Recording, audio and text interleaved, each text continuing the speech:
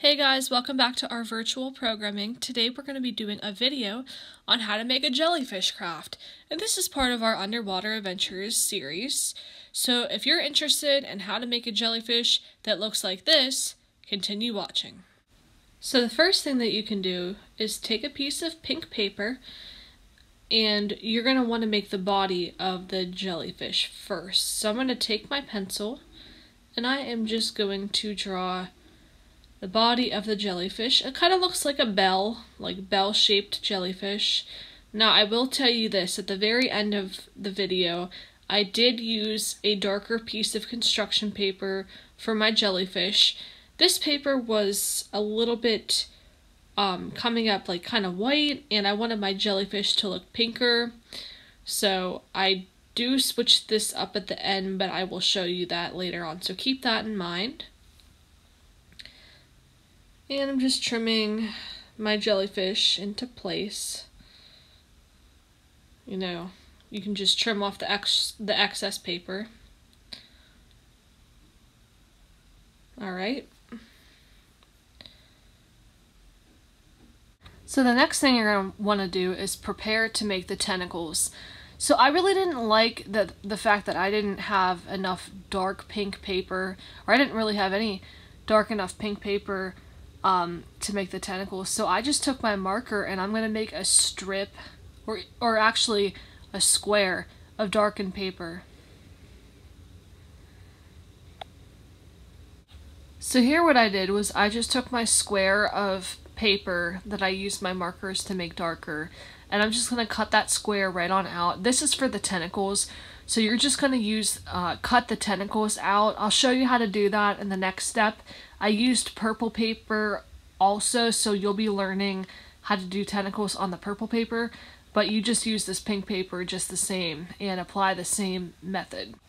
So for when you make the tentacles, you're going to take your paper, whatever color paper you're using, and you're going to do this kind of squiggly line motion, and at the very end I like to do a curlicue, so that's what I'm doing here. And you just kind of got to struggle with it until you get the shape that you want. Um, you just got to move the paper around and just really try to get that shape that you want. And remember, I did do this on the uh, darkened pink paper. Um, I just did not show that, but same method applied there. And then you're just going to cut out the tentacle and repeat this process for more tentacles, but there's another kind of tentacle that I did that doesn't look like a squiggly line so much. It looks more like a caterpillar or maybe um maybe a hot Cheeto. So you're going to take your scissors and you're just going to do like a kind of like a caterpillar shape if you want this kind of tentacle. If you want to stick with the squiggly lines, that's totally fine too. It's all about what you prefer. So for this step, you're going to be attaching the tentacles to the body of the jellyfish, right?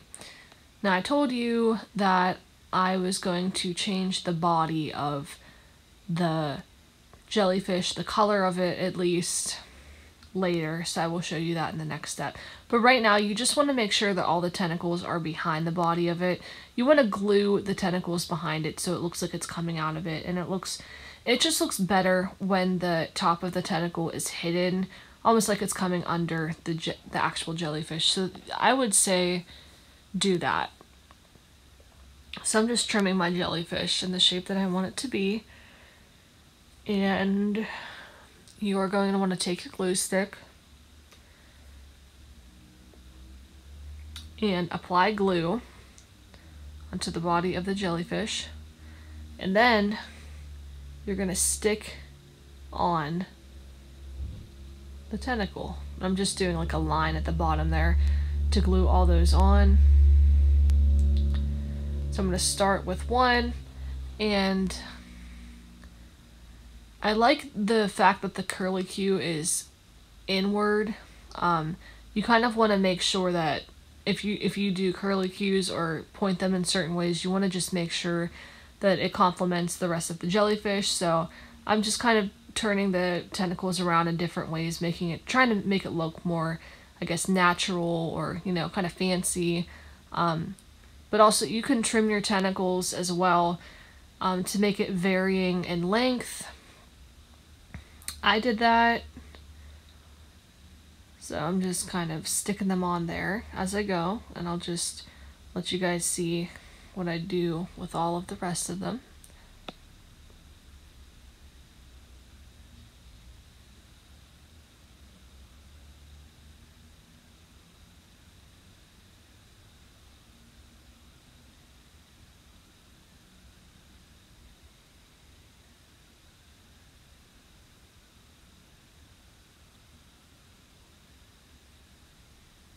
just strategically placing them where I think that they would look good.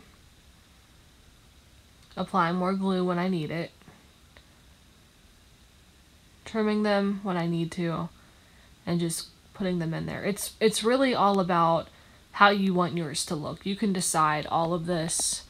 Just the main thing is glue and stick the tentacles in the back if you want them to look good. Okay?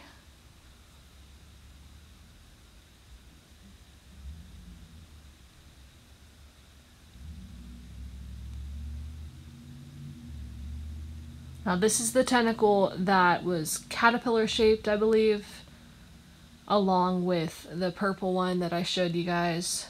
It's kind of, the purple one's bigger. Um, so I'm to add that purple strand on there.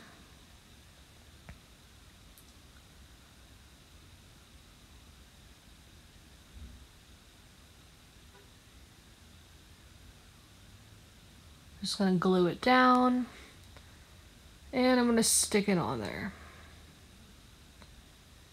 Alright, so I told you guys I had to fix the body of my jellyfish. Here it is. I made it just about the same way I did um, the first one, except I kind of traced the original one, the white one, um, so it would have a similar shape.